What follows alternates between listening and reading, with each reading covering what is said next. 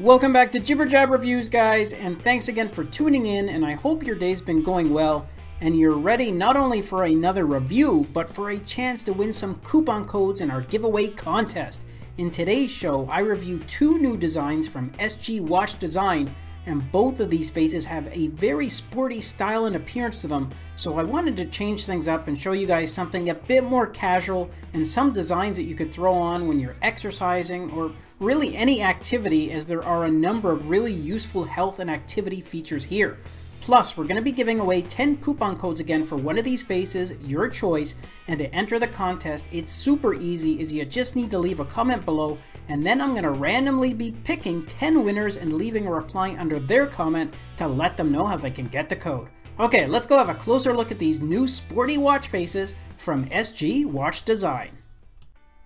Okay, first up is this all-digital watch face, which has a simple yet attractive design to it, and it comes well equipped with a number of useful activity features and information. Now, starting from the top, you have the full date as well as a current moon phase, and underneath that, you have a day of the week indicator, and then underneath that, you have the digital time, which can be set in a 12 or 24 hour format, and that's set and based on your smartphone's settings. Now in the bottom half of the face, you have your total steps count, your last recorded heart rate on the left hand side, along with a graphical battery remaining bar, and then on the right hand side, you have your distance traveled, your floors climbed, as well as your step progress, which is also depicted with those graphical bars.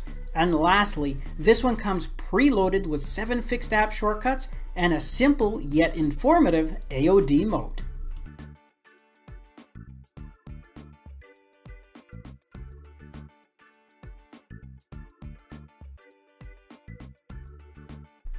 Alright guys, and the other face I wanted to show you is this colorful digital face which has these blue, green, and red bars in the top half of the face and they light up or they reduce in brightness as certain goals are met or power decreases. So for example, the blue bar shows your total steps count for the day and that ring expands in brightness the higher your step count goes. The actual count is also shown next to that shoe icon on the right hand side. Next is the green bar, and that identifies your power remaining. And this is the bar that starts out as a full bright green line, and then it shrinks as your power decreases. And again, your actual power left is shown as a digit next to the battery icon on the right. The remaining red bar at the top shows your last recorded heart rate with the actual measurement shown on the right and next to that heart icon.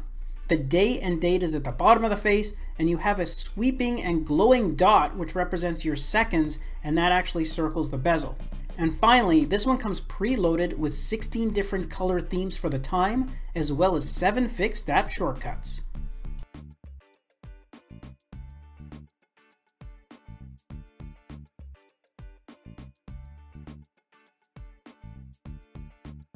And if you want more information on the watch faces that I reviewed today, then simply do a search in the Galaxy App Store under the name of these faces. The full details, including the direct links to all of them, are included in the video description. And I'm also going to be giving away free coupons to random and lucky viewers that comment below. I'll leave a reply under the winner's comments to let them know how they can get a coupon. As always, good luck to everyone, enjoy the rest of your day, and I'll catch you guys in the next episode.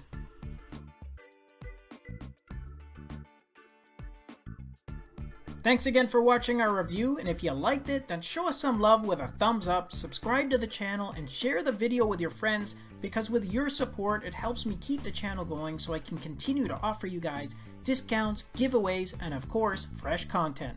I'll see you guys in the next episode. Until then, take care.